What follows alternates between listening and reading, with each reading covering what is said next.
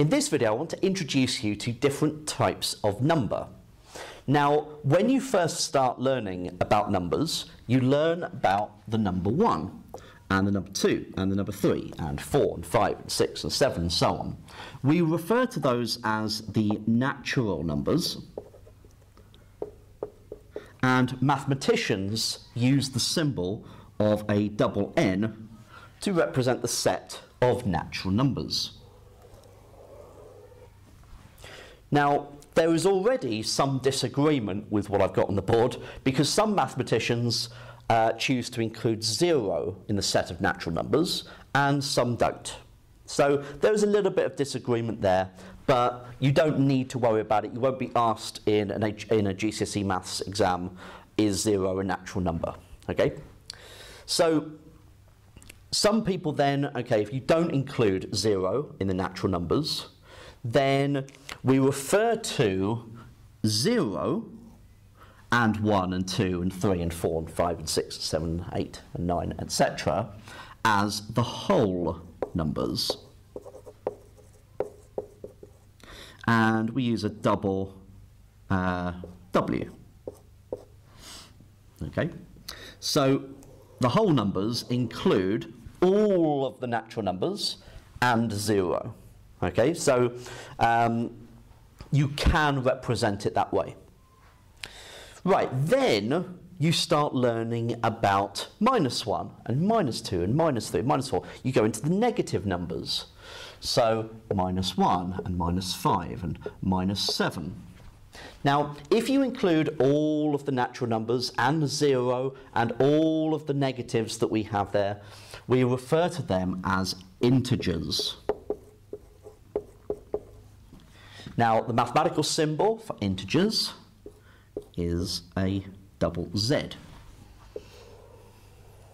Okay, so when we talk about integers, we're talking about minus 3, minus 2, minus 1, 0, 1, 2, 3, and etc. in both directions. Okay, they are the integers, and that is one of the key takeaways from this video, that you understand that that's what we mean by integers.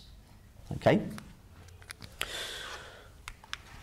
So once you learn about the integers, you then learn about fractions. And you learn about fractions like one half and three quarters and two fifths or minus two fifths. Okay? And we refer to those as the rational numbers. Now the rational numbers uses a double-headed Q for quotient. So the rational numbers include all of the natural numbers plus zero from the whole numbers, all of the integers, and all of the fractions where you can write one integer over another integer. Of course, you can't have zero in the denominator because we can't divide by zero.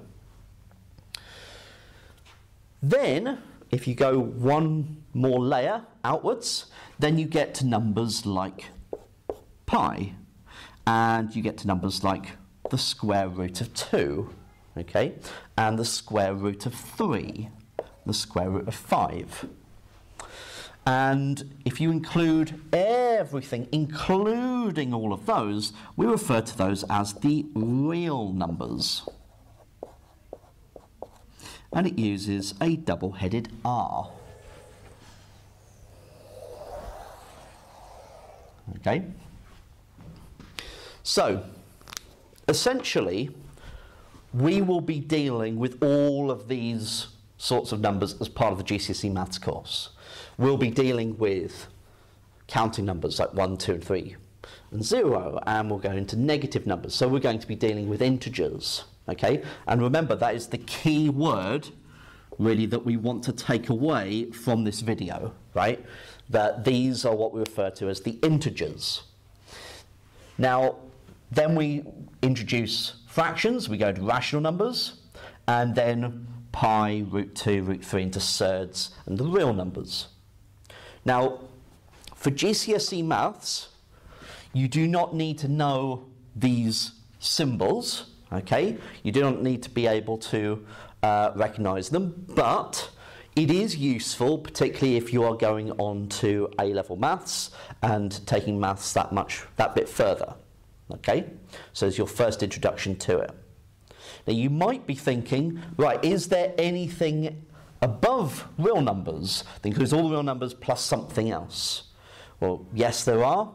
Uh, you start introducing things like complex numbers, um, and you can go a little bit further than that. Okay, but that's for another day.